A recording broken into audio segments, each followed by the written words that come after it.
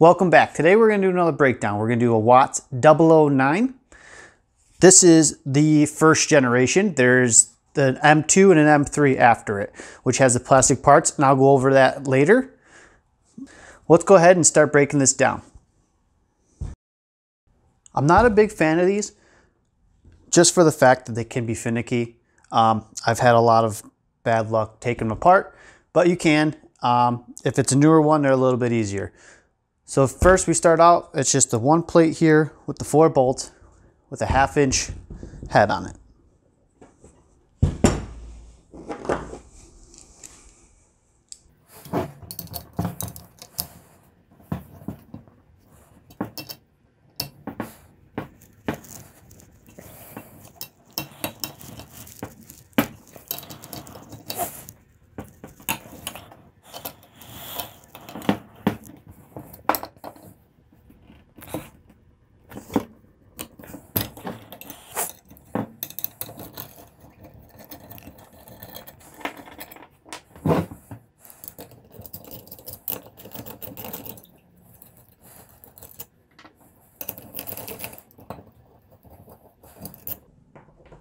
Once you get the four bolts, this is spring loaded, so make sure you're holding it because otherwise they'll go flying up as you can see here.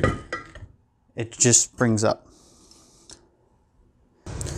Once you get the relief out and you slid it out of the out of the out of the top here, we can go ahead and take it take it apart. I already loosened this up. And this is where the difference in the different models is. This is the first one, so it's all made of brass. The new ones are plastic, but they're all pretty much the same design. You're gonna have a threaded piece here on the end, and that holds a washer and the bottom relief plate there, or the check, the rubber, that seals in the bottom of the vessel. You have a little O-ring that goes inside, and that's also still in the plastic ones. There's an O-ring at the top and if you get a little bit of water coming out or out the bottom, if you have a drip, if you get a drip out the bottom, you go ahead and it could be that. So there's a nut on the top. New ones are very similar, like I said. So we'll take that off.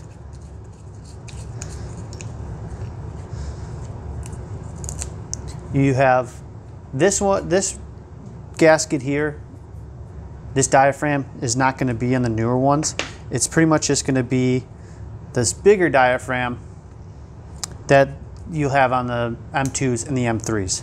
So these ones have a few more O-rings or washers and a few more diaphragms. That's just to keep the metal from leaking. But pretty much once you get that, it's all broken down. So now let's go in to get to the checks. So inside, you'll have the spring. Make sure you take that out too for the relief you're going to have a retainer. And this plastic retainer is what keeps the checks from going in and out. It keeps them in place. So you're going to want to pull that out. Now, highly recommend if you do not have a spare one of these and you're just taking it apart to take a look, do not pull this out. They get it's plastic, it gets brittle and it's tight sometimes and you'll end up breaking it then you're out of a backflow. So if you need the water on, you won't be able to stop the water from dumping. Then so make sure before you take it apart, you have another one of these.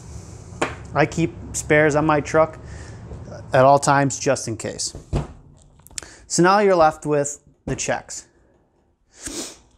You got your number one check and your number two. I always pull the number one first. It doesn't matter.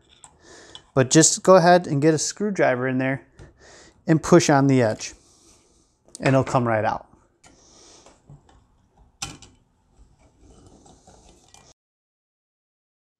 I misspoke in the video. The check has an O-ring on the outside that seals to the inside of the vessel. And that's what keeps the checks from leaking. And then you'll have your spring. Again, just like other backflow, your number one is larger than your number two. So we're gonna take the check apart. All you're gonna do is, I like to push it on my palm here, giving a hold.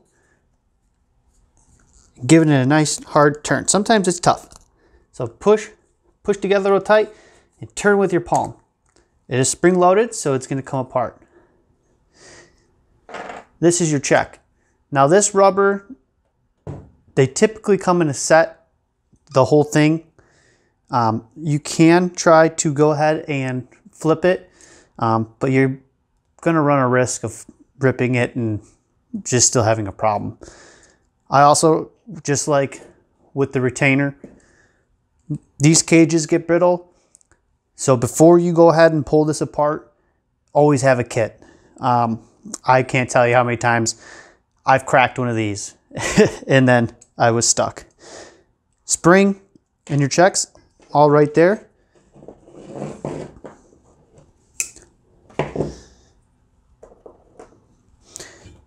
Same thing with the number two. Take your screwdriver and slowly work that out. It's going to break down the exact same way. Push turn and your checks apart. Then you'll be able to check to see what's following it. Sometimes it's the O-ring on the outside and as like a lot of backflows, your number one check typically gets damaged from something. You may have sediment on there. This one does, and I can show, you, I'll do a close up of that. So now that's it. You have your checks out. In the bottom of these, where this relief sits, there's an actually another part. And I usually try not to remove it because I tend to have, it gets worse. so what I'll do is I'll rebuild it, put it back together, make sure everything's good. If not, then I'll go ahead and I'll remove it. So you have the relief on the bottom. There's, this is just pushed in. So I tend to just get it loose with some needle nose. Take a screwdriver, give it a few taps, and it comes right out. The difference is on the new ones, they don't have this, they don't have the bar across here.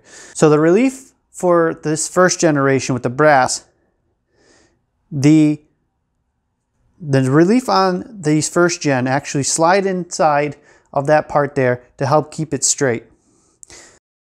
And this is where I was talking about get corroded and doesn't move. So sometimes you'll have to force this relief out, clean up this pin, and make sure that it slides freely in this relief guide. Now that we have it completely broken down, it is pretty simple. Like I said, I don't have the best of luck with these. I typically replace them.